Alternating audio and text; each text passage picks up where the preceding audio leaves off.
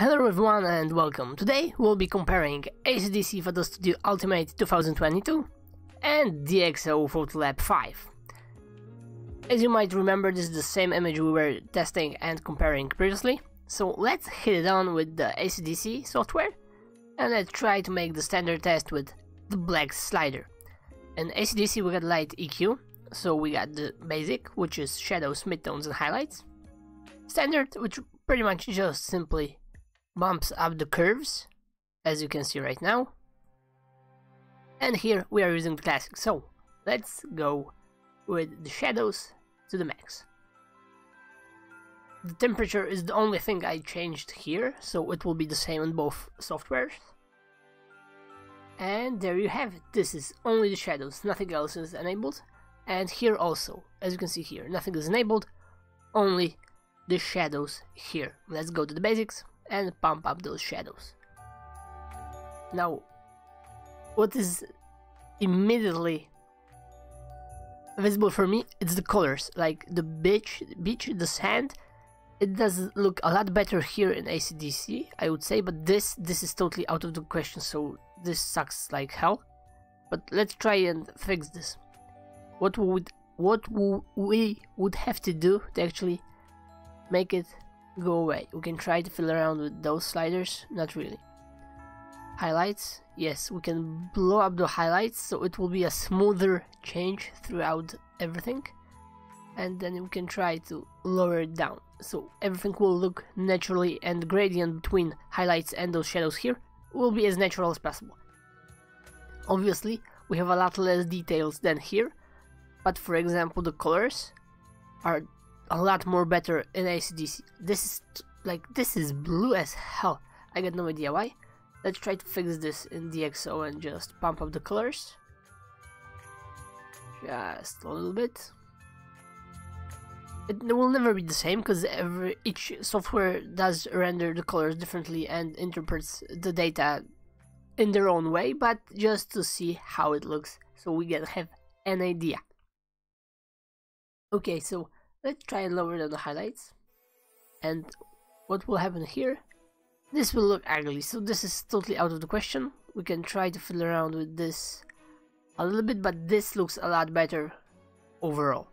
Also, there's a lot more contrast here in DxO than in, in ACDSee, but this is a very nice anyway, I would say. A lot less contrast, it's not over sharpened like this, but yeah, here we have a lot of details. So, Let's try and pixel peep a little bit and just simply go in.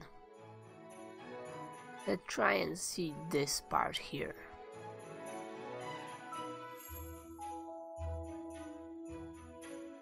ACDSee here works a little bit slow, as you can see this here loading bar makes everything, well it's not that fast as DxO and there, there's one rule, there's always the truth you are paying for your time. If you are paying something for something expensive you are doing this because you can save time.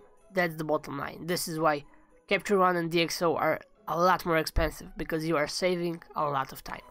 Okay so look at this. Straight out of the box only single changes we did to the shadow sliders here and here for DxO and it is a lot more contrasty although the colors are totally off like this this is purple this is this is something totally different. Which one does look better? I'm not really sure to be honest because this is the colors so you can always change those later. But let's look in the details. You can see that here we have some fine details. Those here i guess we lose a little bit of things. Like for example this guy those guys here I would say that this is very small change. Let's try and remove a little bit of details here. Add those noise reduction parts. A little bit more. Okay, it kicks in and as you can see it looks ugly in ACDSee. So it's not that bad in the end, but yeah, there are artifacts as you can see. And if we make it as smooth as that, it doesn't look good. Obviously, if you want pixel peep, it should be okay, but on the other hand, this is a lot easier. We can always add luminance a little bit higher for that matter. And yeah, DxO does a very nice job and there's, I would say even a little bit too much detail in the sand in my opinion. This looks a lot more natural, simply, so unfortunately there is no one single answer for that. But tell me in the comment section, what do you prefer? ACDSee doesn't work that fast and it's not that much that responsive as DxO, unfortunately. You always need to struggle a little bit with everything. But on the other hand, if you have a PC that it works fine, then I would totally think about that. Because if you zoom out, there's no, there's not that much of a difference, I would say. Here we can always add a little bit of dehaze to add the contrast and obviously the sun goes crazy with this dehaze here so this is totally out of the question. Like look at here. There's a lot more contrast and drastic color changes than here. There's here everything is a lot smoother and delicate and that's it. This is guys only a single photo but I wanted to show you how ACDSee photo looks like in comparison to DxO and that's it. You can of course for buying the DxO you need to pay 160 bucks plus 100 plus, plus 100 for the film pack so you can have the split toning effect. And here we have split tone in ACDSee right out of the bat and ACDSee currently stands only for 100 bucks on a Christmas New Year's sale so there's that. Everything you can think of is here and works very very well. I won't go into details because those are the same things over and over as in every software. The most important part is performance, which I think which ACDSee is working very well. It's not the fastest, but it does compare with exposure, I would say, and or with ON1 Photorow. ON1 Photo RAW is slower, ACDSee is, is a lot better. And there you have it guys. If you have any questions, feel free to hit me up in the comment section. Hey everyone, so this is another example. Let's just go with the flow and use the shadow slider and see how it works for those two photographies in ACDSee Photo Studio Ultimate and in DxO Photolab. So shadows as you can see. This how it works here and this how it works in ACDSee and what I can tell you right now this is definitely brighter than the DxO the details I would say there is no change. I mean the photo is sharp so everywhere the details will be perfect right? There you have it. Let's reset this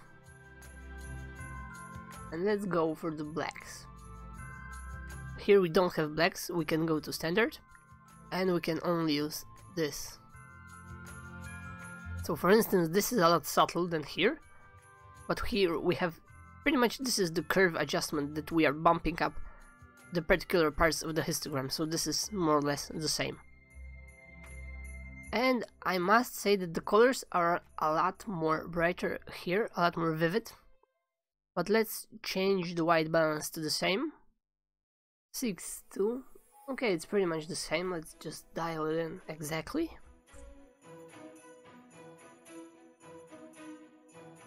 And 6 here. Okay. And let's go with the shadows once more. And there you have it.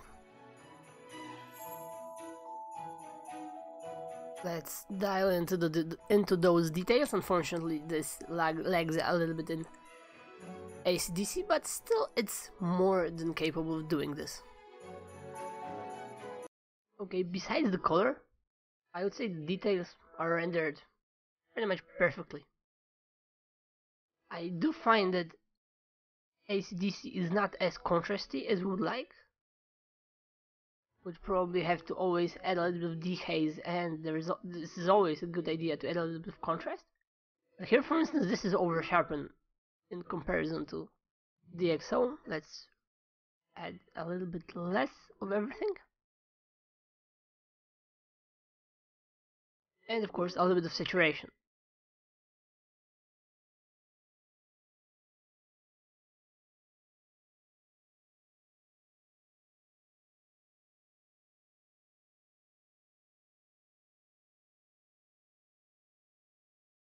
Okay, maybe it's not the same, but more or less, I would say. We at least try. Okay guys, so this is one of the photographies I wanted to show you. As you can see, there's a lot more highlights, for example, here than here. Let's compare the histograms. We got something like this here in DxO and something like this in ACDSee. So yeah, there are some differences, but let's try to just simply take a look from a perspective on the whole image. Unfortunately, zooming is very slow in ACDSee. I hate this. It's, it's it's it's a disaster. And here it's a lot better in DxO. So unfortunately, it might suck for you, as it does for me.